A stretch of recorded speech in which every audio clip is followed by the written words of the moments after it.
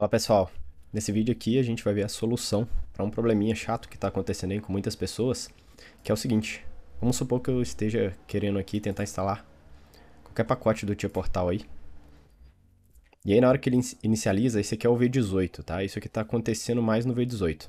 Ele aparece essa mensagem aqui, que é para a gente reiniciar o computador. Essa mensagem é normal, ela já apareceu também em todas as outras versões anteriores, só que agora no V18 o pessoal está relatando que mesmo depois de reiniciar o computador, ela continua aparecendo e aí a gente não consegue caminhar. Se a gente der um não aqui, ó, ele vai pedir para fechar. Então a gente não consegue realizar a instalação. Então nesse vídeo a gente vai ver a solução para isso, para que a gente consiga instalar. Vamos lá então. Aqui, ó, eu já deixei o diretório onde a gente vai precisar acessar aqui, ó. E o caminho para a gente chegar lá, a gente vai no pesquisar aí do Windows, nós vamos buscar por editor de registro ou regedit, só dá autorização, vai cair aqui nessa tela. Então a gente precisa procurar esse diretório para a gente conseguir mexer no arquivozinho que está lá dentro. Então, ó, vamos lá.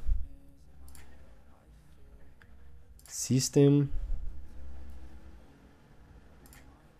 set Ctrl e agora Session Manager aqui.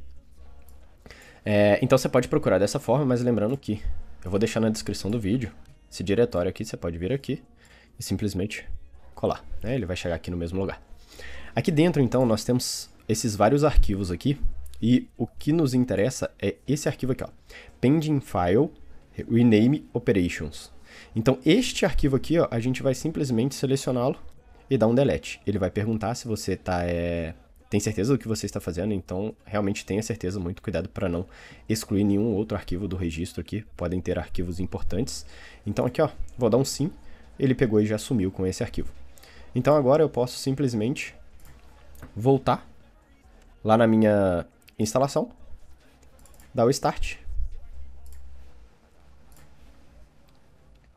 E agora, ó, aqui a gente já vê que ele já não pediu para reinicializar, ó. Aqui ele já está inicializando e já vai abrir o setup para poder fazer a instalação.